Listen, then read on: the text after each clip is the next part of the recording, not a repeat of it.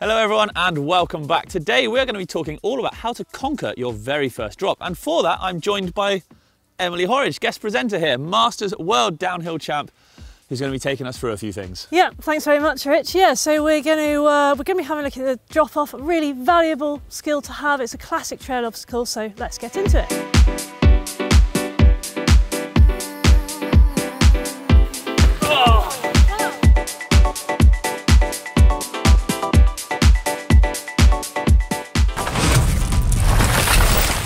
A drop off is like a tall step, but the trouble is you can't roll over it because the bottom of your bike might catch as you hmm. as you do so.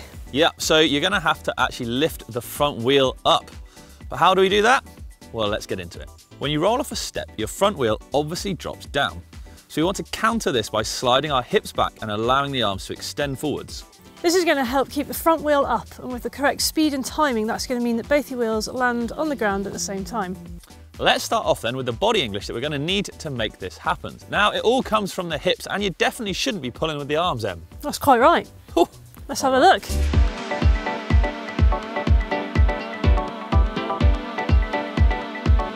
Roll along and practice moving your hips down over the saddle and sliding them back in one quick movement. Allow your arms to extend forward and you should find that the front of the bike just starts to unweight or even the front wheel might come up. Next, let's take it to a small drop like this one.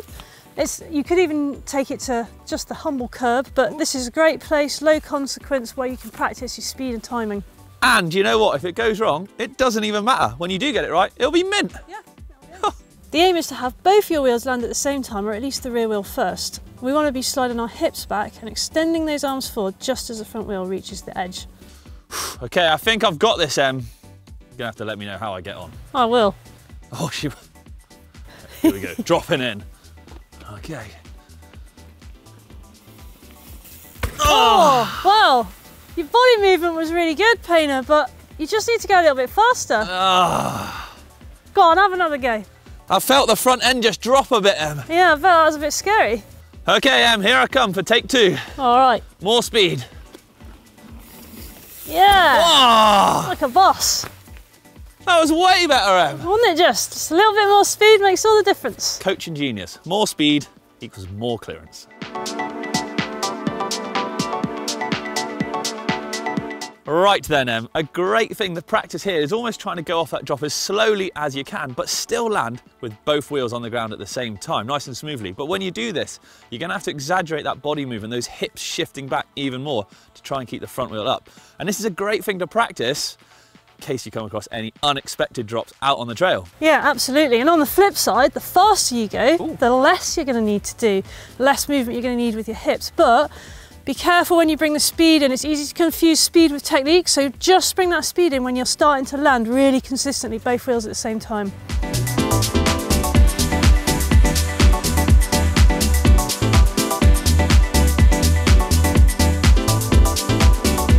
Right then, Em, there are definitely some things to avoid when doing drops. And luckily we got a few of them to tell the guys and girls out there. So, what have we got first? Well, the most common one is just trying to pull the front of the bike up just by pulling with your arms and Oof. getting a bend at the elbow. We don't want that because if you do that, the front wheel's going to drop straight down Yep. and you might go over the bars. Oh, We don't want that. We so if you've got that problem, just really work on that hip movement. Make sure you've got that really dialed in. You want to extend those arms forward, no bending. no bending, extending.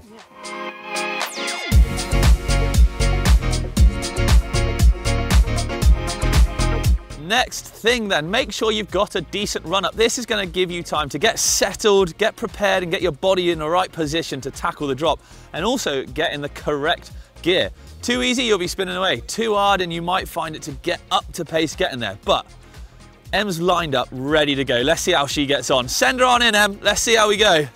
Oh my goodness, that is um, spinning a million miles an hour. I think maybe a bit more of a run up and a bit of an harder gear for that one. Crikey, Em, that was a high cadence. Okay, take two. Em's gone for a bigger run up and I hope she's changed gear, but let's find out. Let's see how you go, Em. oh my goodness, it's looking better. She's looking composed and she has sent it one. There you go. Bigger run up, correct gear, more time to get in the right body position equals better sends. Better sends are always better. So another couple of things. Be careful with your with your braking. Don't do any last minute braking just before the drop because that's going to bring your weight forward and we're actually trying to get the weight back. Let's see what Painter does. Okay, um, I think I'm going. Whoa! Oh my word! Oh my god! Good going up, Nolly. I braked right on the edge of that one. That was terrifying. That was. As you're coming off the drop, as you get to the end, make sure you're looking at your landing. You don't want to focus on the edge. Just go, whew, look down there, land right away like a boss.